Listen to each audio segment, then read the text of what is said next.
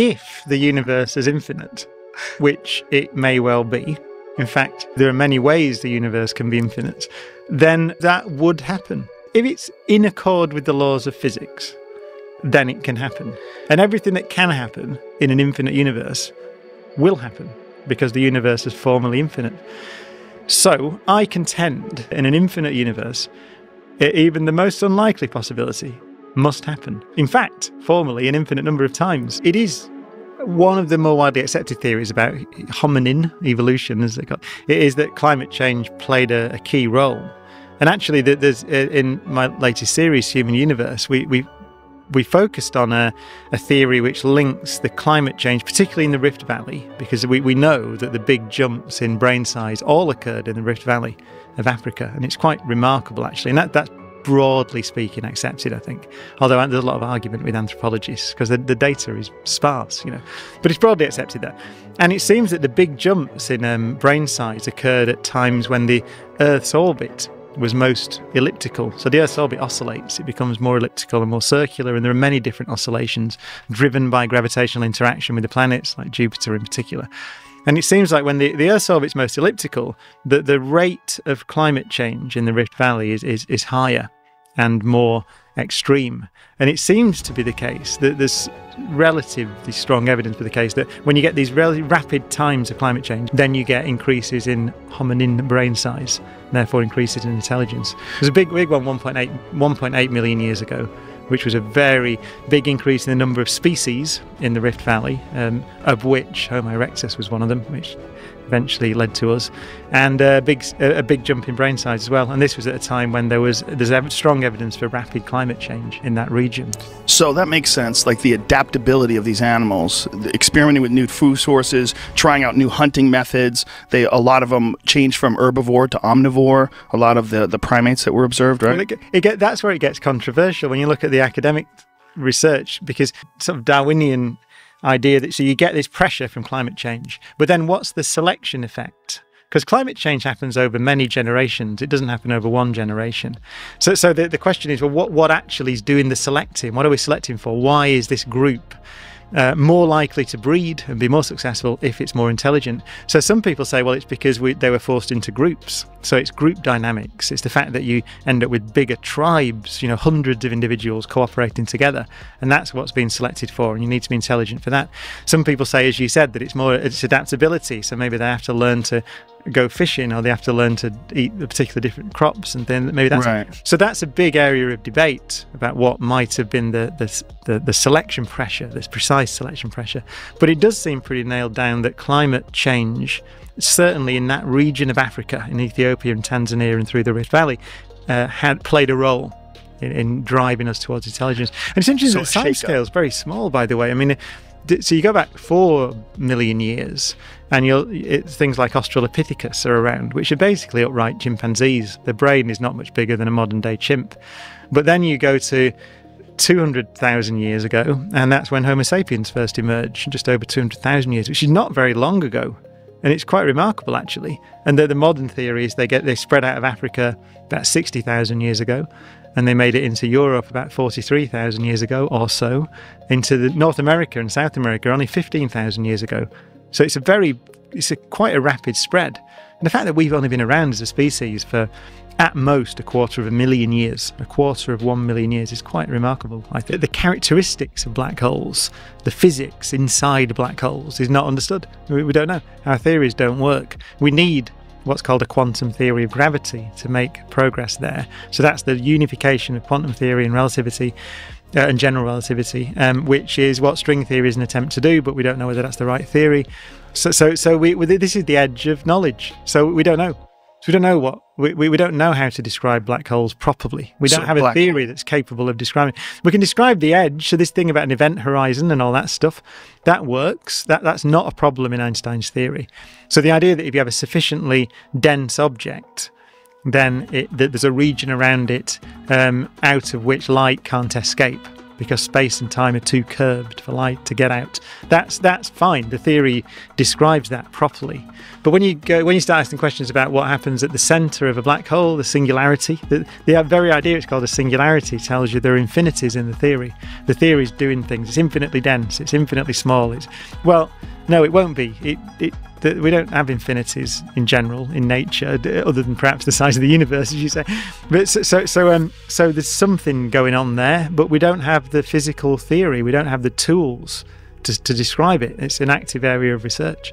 So I don't know is a good answer in science, right? And, and so speculation's fun, but but ultimately, you know, we're talking about we're talking about a regime of nature, uh, which which which our current theories are not capable of describing with any authority, and that's that's the inside of a black hole. So this is a picture, baby picture of the universe. 180,000 years after the Big Bang, the universe became transparent for the first time to light. And that's because it was, it was cooling down as it was expanding and cooling, then atoms form. And at that moment, very, very quickly, uh, the universe becomes transparent, and so photons of light can travel on through the universe, and they've been doing so ever since. And we can take a photograph of that, and we have done with a series of satellites. The most recent, which, uh, which is called Planck, which is a European satellite that's up there. So this is a picture, baby picture of the universe as it was 380,000 years after the Big Bang. It's a very beautiful picture. But in explaining that, uh, that's given support to theories called inflationary cosmology theories. So, inflationary cosmology theories say that before the universe was hot and dense, which we tend to call the, the, Big Bang. Before that, the universe was, was still there and it was doing something else, which was an exponential expansion. So it was expanding exponentially fast, way faster than the speed of light. Then it stops, and all the energy that was that's causing that expansion gets dumped into space, heats it up, and that's what we see as the particles and energy today. So those theories are kind of interesting. But they also suggest that there are um, that a, there are theories called eternal inflation theories that say, well, how long did that period of expansion go on for? And does it all stop at once, or does it stop in patches?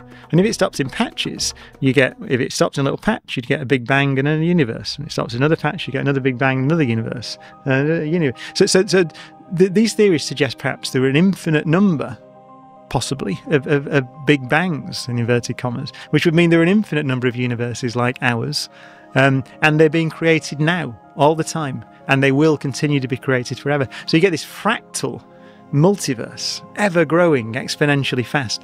And really bizarrely, th- those theories have some support from the from the cosmic microwave background. They're theories that explain the structures we see. I should just underline the fact that this is speculative in a sense, but it but it's um but it's relatively mainstream that.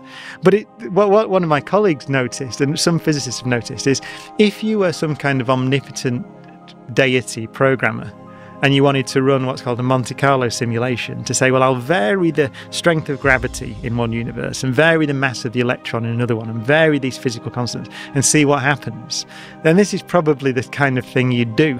this is what it would kind of look like. So that you can make an argument that the universe in some sense looks like one of these kind of so-called Monte Carlo simulations because it, it, it, gives you the possibility of generating every possible number of r- different ratios of the strengths of the forces of nature and all these things. So, so but I, I just have to emphasize this is way out there, way on the there. edge, but it's fun and what, what is fun and interesting, though, is that the, the wind all the way back, the inflationary cosmology bit is probably the most widely accepted theory at the moment for how the universe got to be the way it is. And it does lend itself to this idea that there may be a multiverse. And, and it may be that in, in each different pocket universe, if you like, you can have different physical constants. So most of them wouldn't allow life to exist but some of them would. So, so our universe looks very fine tuned if you look at it in a sense. It looks like the, the, laws of nature were very slightly different. You wouldn't get carbon, for example, produced in stars in, in large quantities, which you need in order to. And when the stars die, the carbon and the oxygen come out and they recollapse into another generation of stars and solar systems. And that's how you get the heavy elements that make up our bodies. And so all those things look, you, you need, you, you either try and find an explanation for, for why the laws of nature are the way they are or you go to one of these multiverse theories and say, well, actually, every possibility occurs in nature. And then we shouldn't, be surprised that we live in a universe that seems fine tuned for life. seems perfect for us to exist in because every possible combination of the laws of nature exists somewhere. And th- this is where cosmology is at the moment. It's, this is genuine. You could go and, onto the web and Google it. You'll find a, a, a thousand review papers on what's called inflationary cosmology. And it is cool and interesting, actually. Infinite numbers of infinite universes, uh, these theories exist. We say the universe began 13.8 billion years ago. That's a measurement. So, because we can measure the speed that all the galaxies are flying away from us, essentially. You can run time backwards, if you like, to, to find out when they were all on top of each other. And so it's a quite a simple measurement, and we've done that. So we say the universe began 13.8 billion years ago. But actually, all we know really was the universe was very hot and very dense at that time. And we have some theories that the universe was in existence before that, and perhaps some sort of circumstantial evidence. And that means that actually the universe could have always been eternal. When I talk to people, some people get upset about that. Some people would rather it had a beginning. The idea that it might have been around forever is more frightening somehow than the fact that it began. What terrifies you the most, an eternal universe or a finite universe? If you look to the LHC, which is the Large Hadron Collider, which is the place where we generate the highest energies, so it's the biggest microscope in the world in that sense, we have an extremely good understanding of the laws of physics at that level. Um, in, up to and including the discovery of the Higgs particle. Just that, that's been proven? Is that oh, yes, debate at all? There is a particle there that we've discovered, and it has all the right properties to be the, the predicted standard model Higgs particle. Please, please explain what that um, means. so the Higgs particle, it was predicted back in the 60s by Peter Higgs and others, and it's uh, the idea is basically that early on in the expansion history of the universe, so let's say less than a billionth of a second after the Big Bang, as the universe cooled, it went through something condensed out into empty space. So people call it a phase transition, or but it's analogous to uh, a window pane on a cold winter's day. It's analogous to, to water vapor condensing out into ice as you drop the temperature. It changes into something else, into ice. So, in the same way that the theory is that as the universe cooled, something condensed out. So, empty space isn't empty, it's full of Higgs particles, if you like, or a Higgs field. Wow. So, every bit, so this means this space. Now, it's not just space between the galaxies, it's in this room. That every square meter of this room is full of the Higgs field. And our fundamental particles, the electrons, let's say, in our bodies, interact with that Higgs field. And in that process, they acquire mass. So it's the, it's the mass generation mechanism. It's why some particles are massive, like electrons and quarks, and some things like photons are not massive. They're massless and they travel through the universe at the speed of light. So that's the theory. Now, that was suggested and built uh, mathematically, essentially. There was very little evidence for it at the time, back in the 60s. But over the years, uh, it, the theory called the Standard Model of Particle Physics passed all experimental tests. So we got to the point where we thought, right, okay, we, we will build a machine that will either disprove or prove that theory. And the LHC is such a machine. If that theory is correct, which it now seems to be, it, the prediction is you must find the Higgs particle at the, at the, LHC, or some kind of Higgs particle. And indeed, we found it. There are 350 billion galaxies in the observable universe, so surely there are civilizations out there. And more advanced as well. yeah, I'm sure. I'm sure that's the case. Sure. Uh, and, it, and it has to be the case in an infinite universe. Yeah. But if we confine ourselves to the Milky Way, which is really the only place we ever have any hope of exploring or contacting anyone. We'll never contact anyone, even in the Andromeda galaxy. But the Milky Way, if there's someone there, we could at least aspire to contact them. So it's worth that effort to listen. We don't spend much money on it. It's we spend too little on it. I think it would be a tremendous discovery if we made it. If so it's worth something like us. It's worth listening because, and you know, when SETI started back with Frank Drake and Carl Sagan and others back in the '60s, no planets had been discovered beyond the beyond the solar system. None. The only planets we knew were our planets. Uh, now, as I said, the, we've discovered thousands of planets, confirmed discoveries, and the statistics tell you there are billions of them out there. So virtually every star probably has a planetary system. But as I say, you've also got to have the time to make things like us. Uh, you know, and that, that's a tortuous process. There's no inevitability to evolution. I think it's not it's not a, a it's not to be seen as some march to complexity. Evolution. It's it's it, it it does what it does. It, single-celled organisms were very, very good at just surviving and getting on with it for for most of the history of life on Earth.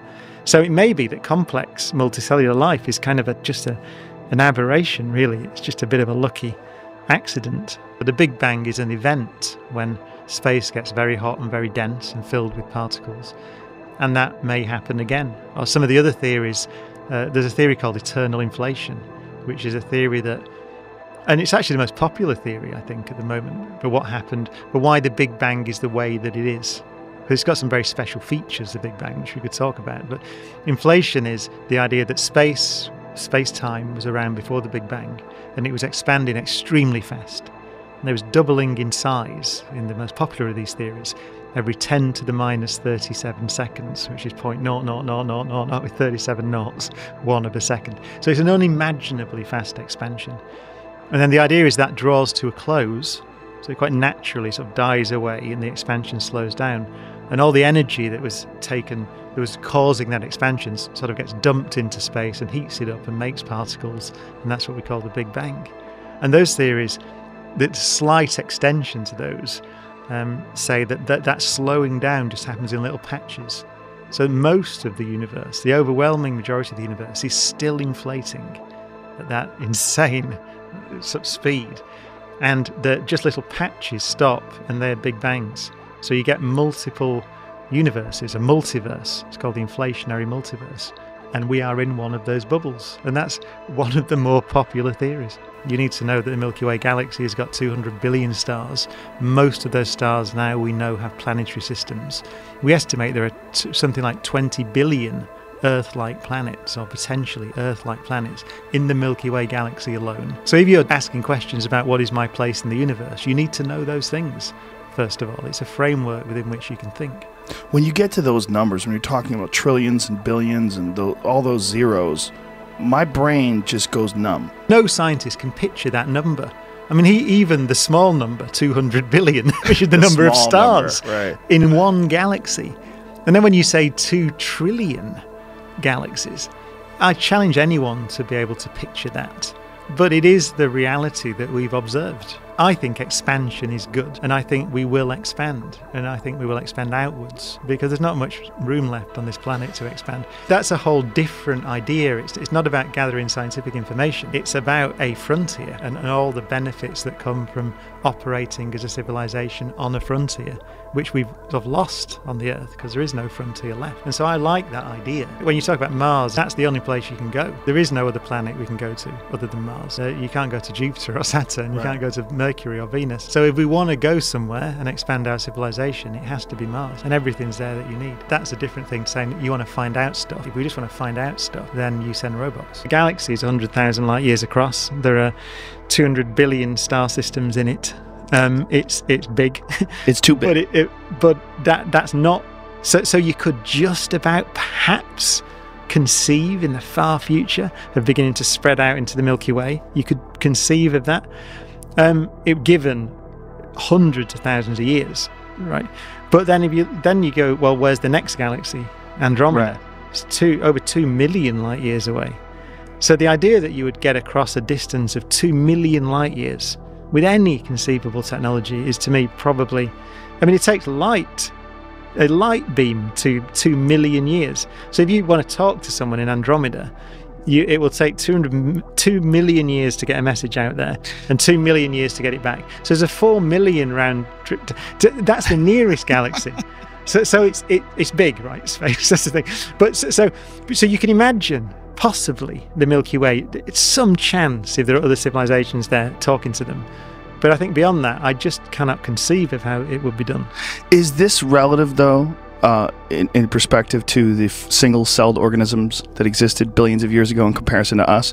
Do we really think that we're the end all be all and this is the, the last stop on the road to evolution? No. Isn't it possible that we get so advanced if we live to be another billion years that we can, all these ideas that we have in our head about the laws of space and time and the, the, the what particle physicists are trying to figure out and what string theorists are pre- prescribing as far as you know 15 different dimensions is that what you said?